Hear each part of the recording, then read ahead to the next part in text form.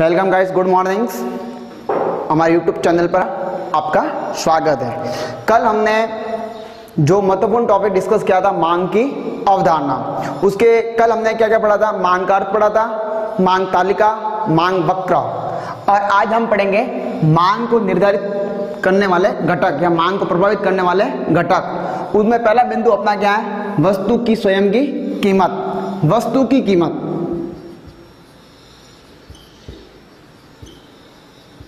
इतना हम सब जानते हैं वस्तु की कीमत कितना प्रभावित करती है। अगर वस्तु की कीमत में वृद्धि होती है तो क्या करेंगे? उपभोक्ता क्या उस वस्तु का उपभोग में क्या करेंगे?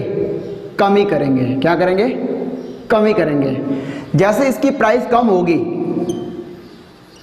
कम होगी तो उसका उपभोग में क्या करेंगे? वृद्धि करेंगे। एक स्वविवेक उपभोक्ता क्या चाहता है? कम से कम व्यय में अधिक उपभोग।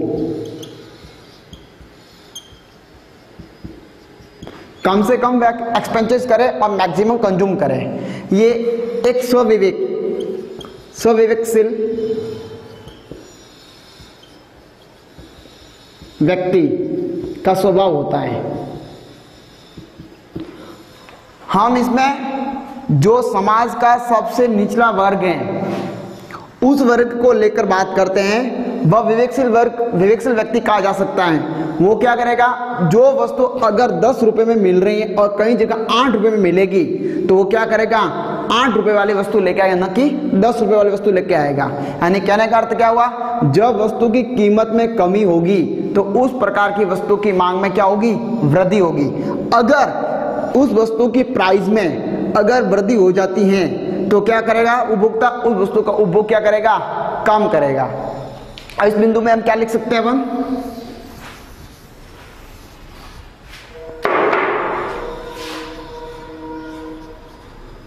जब किसी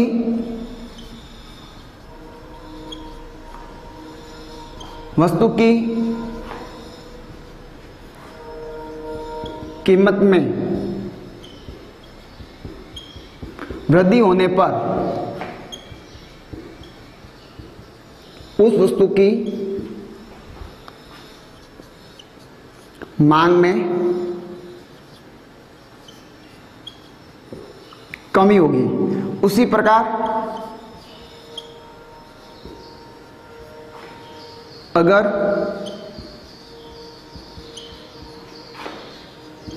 वस्तु की कीमत में कमी होने पर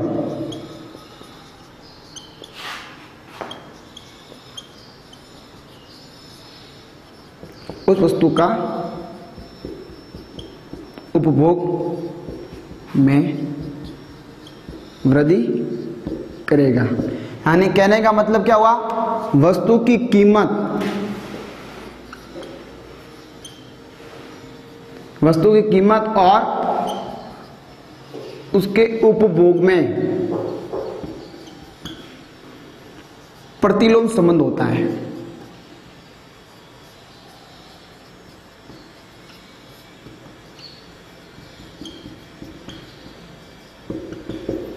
यानी वस्तु की कीमत और उस उपभोग में प्रतिलोम, यानी विपरीत संबंध होगा। अगर कीमत घटेगी तो उसकी मांग बढ़ेगी, और कीमत में वृद्धि होगी तो मांग घट जाएगी। अब दूसरा बिंदु लेते हैं, उपभोक्ता की आय।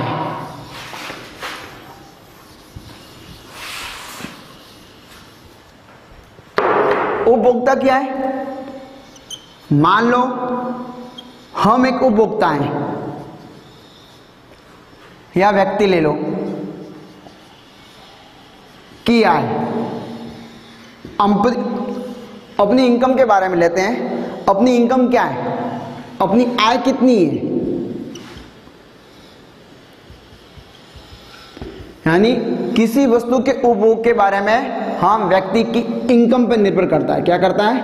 व्यक्ति की इनकम पर निर्भर करता है। अगर व्यक्ति की इनकम ज़्यादा होगी तो क्या करेगा? अधिक वस्तुओं की मांग करेगा। अगर व्यक्ति की इनकम कम होगी तो क्या करेगा? वस्तु की मांग कम करेगा। इस दरमियान क्या होगा? उपभोक्ता की आय। उपभोक्ता की आय व वस्तु की मांग में।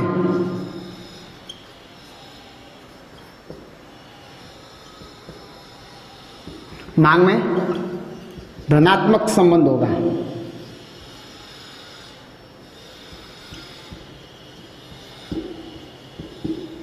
क्या होगा? धनात्मक संबंध होगा। यानी उपभोक्ता की आय में वृद्धि। तो क्या करेगा? उपभोग में वृद्धि करेगा। उपभोग में वृद्धि करेगा तो इससे क्या होगी?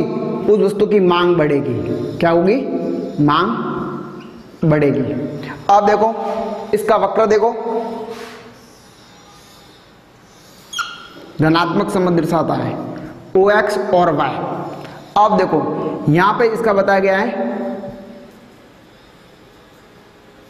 आय दर्शाई गई है और यहाँ पे बताया है उपभोग। जैसे जैसे इसकी इनकम बढ़ रही है, वैसे वैसे उपभोग करने की मात्रा क्या हो रही है? बढ़ रही है। अगर उसकी आय घट रही होगी तो ये वक्र बताएगा कि इसका उपभोग भी घट रहा है।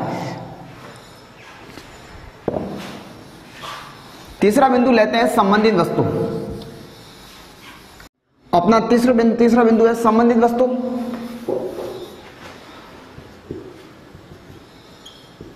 संबंधित वस्तु।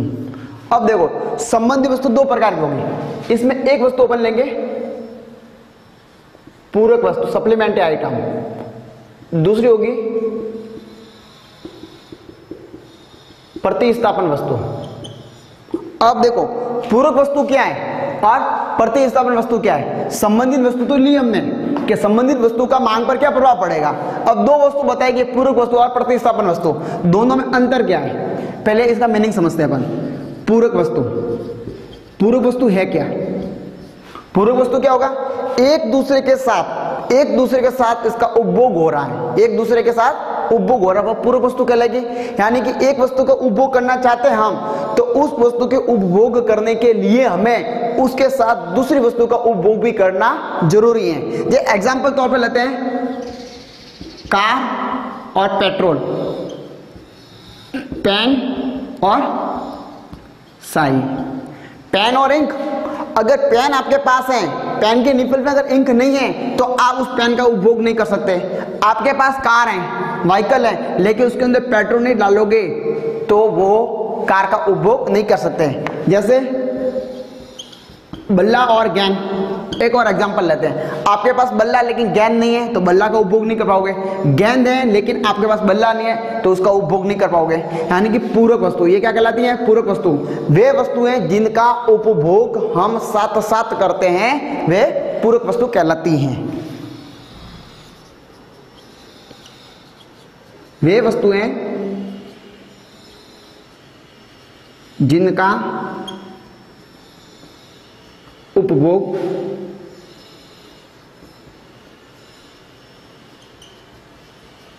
एक साथ करते हैं।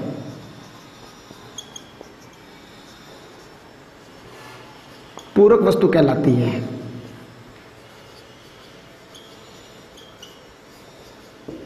अब पूरक वस्तु के लिए, अब इसका प्राइस का, इसका उपभोग में क्या अंतर हुआ है? अब मान लो कार और पेट्रोल का एग्ज़ाम्पल लेते हैं। पहले व्यक्ति अपने घर से ऑफ़िस जाने के लिए दूरी कितनी है? दो किलोमीटर है। ज़्यादा डिस्टेंस नहीं है, दो किलोमीटर है। तो अब जिस समय पेट्रोल चालीस रुपए पर लीटर था, तब वो बाय कार जा रहा था। अपने ऑफ़िस दो किलोमीटर का सफ़र कार से क्या कर रहा था? स्पेंड कर रहा था। अब क्या है? अब चालीस रुपए का अगर पचास रुपए पर लीटर हो जाता है तो व्यक्ति क्या करेगा? कार का उपभोग कम करेगा। यानी पेट्रोल की प्राइस बढ़ने से कार का उपभोग क्या हो गया? कम हो गया। अगर 40 की जगह 30 रुपए हो जाता है पेट्रोल के पेट्रोल के प्राइस तो कार का उपभोग क्या करेगा?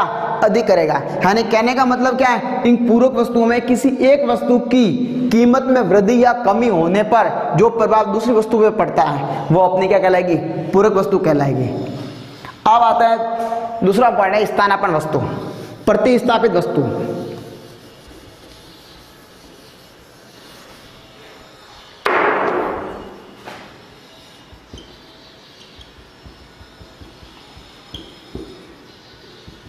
अब देखो, प्रतिस्थापित वस्तु, इसका मतलब क्या है? प्रति प्लस स्थापित, एक के जगह दूसरे को स्थापित करना।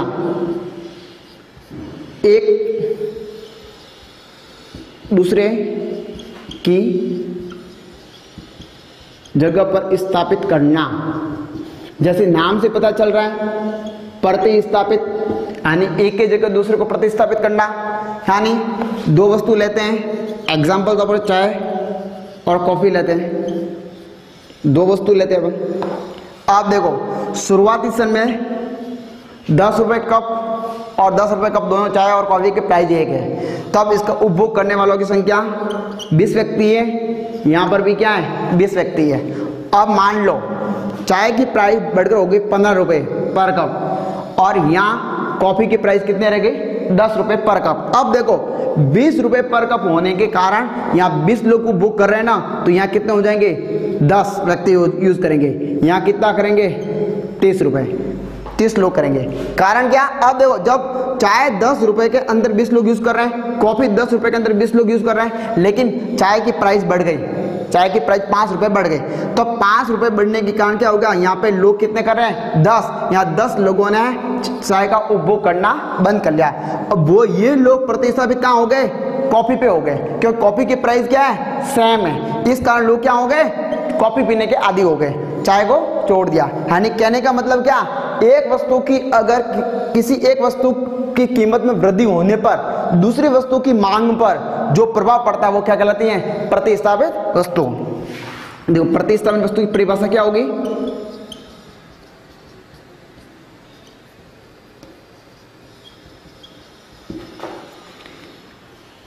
जब अन्य बातें स्थिर रहने पर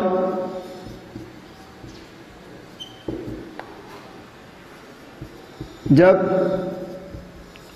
किसी एक वस्तु की कीमत में वृद्धि होने पर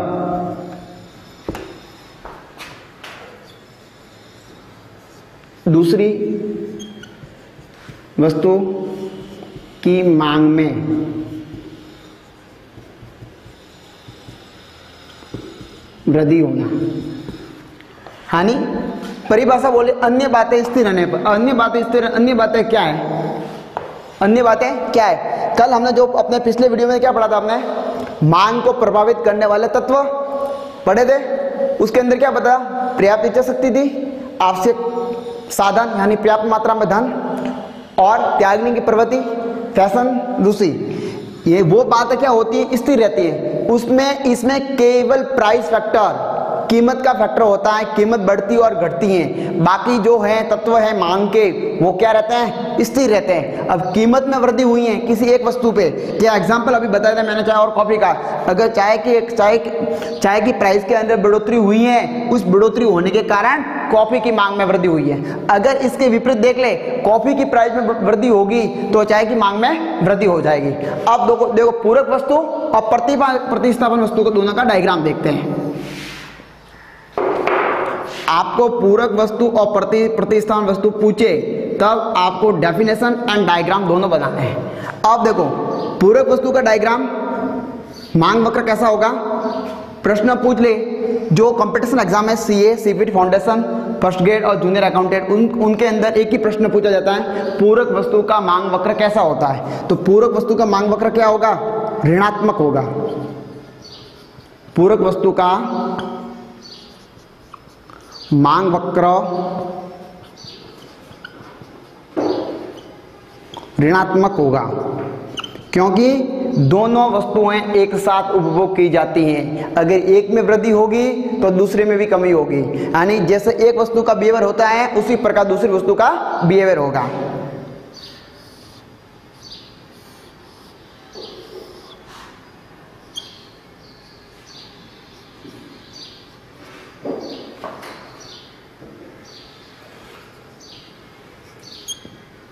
क्वांटिटी और मात्रा और प्राइस मूल्य। जैसे उसकी प्राइस बढ़ी, उसकी मात्रा कम हो गई। प्राइस में देखो, यहाँ देखो, पहले क्या थी? प्राइस यहाँ मान लो कि अपने ए बिंदु दिया। यहाँ बी क्यू वन और क्यू टू अब देखो ए प्राइस थी। तब दो वस्तु को उपभोग कर रहे थे क्यू टू कर रहे थे। अब देखो प्राइस बढ़, कितनी हो गई? बी हो गई तो इसका उपभोग क्या हो गया क्यू वन हो गया। यानी कि प्राइस में वृद्धि हुई है तो उसको बुक में क्या हुई है? कमी हुई है। अब प्रति स्थापन वस्तु का क्या होगा रहना? मांग वक्र क्या होगा? धनात्मक होगा।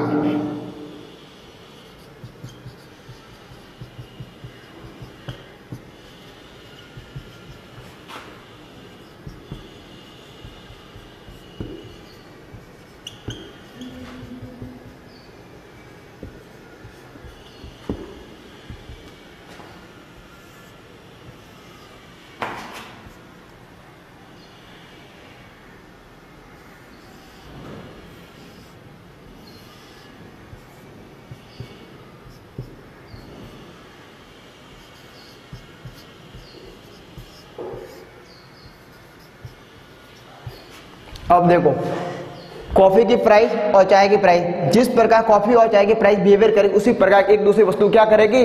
आपस में बिहेवियर करेगी। अब देखो, भविष्य की प्रत्यांशा। अब देखो, अपने प्रतिपा वस्तु का डायग्राम देखिए। इसका डायग्राम क्या होता है? धनात्मक होगा। क्या होगा? धनात्मक होगा।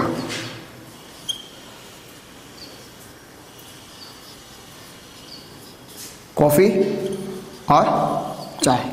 अब देखो, जिस प्रकार बिहेवियर कर रहे हैं प्राइस कॉफ़ी और चाय की, उसी प्रकार बिहेवियर देख लो। प्राइस बढ़ रही है। कॉफ़ी की प्राइस बढ़ी है। चाय की प्राइस देखो।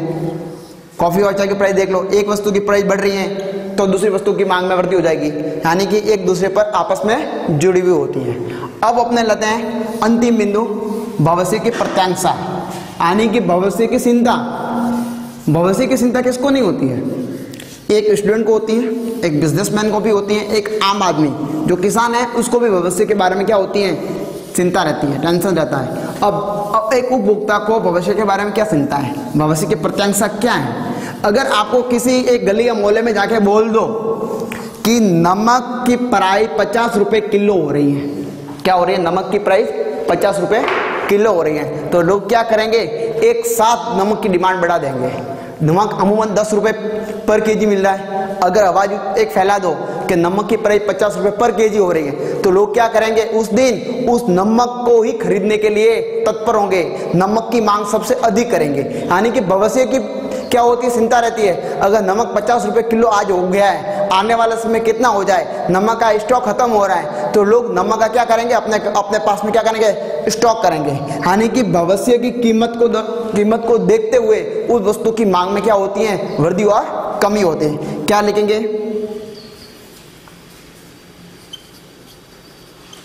अन्य बातें स्थिर रहने पर। जब किसी वस्तु की कीमत या स्टॉक।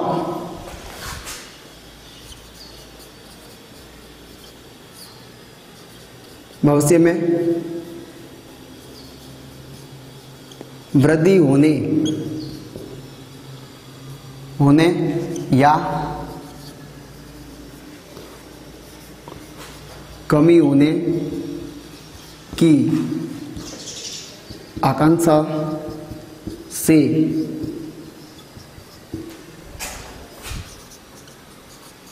उस वस्तु की मांग में वृद्धि और वृद्धि या कमी होगी। यानी व्यक्ति को भविष्य की चिंता रहती है। अगर एक बार कोई बोल दें सोने के भाव हैं, आज बीस हज़ार रुपये हो गए तो एक साथ लोग खरीदने के लिए उमड़ेंगे। अगर ये बोल दें कि आने वाले समय में सोना एक लाख रुपए होने वाला है, लेकिन पचास रुपये प्राइस है तो भी लोग खरीदेंगे। अब ये बोल दें, आज पचास हज़ार है, आने वाले समय में बीस हज़ार रुपये होगा तो इस पचास हज़ार प्राइस पर सोना गोल्ड खरीदने के लिए लोग कोई तैयार नहीं होगा।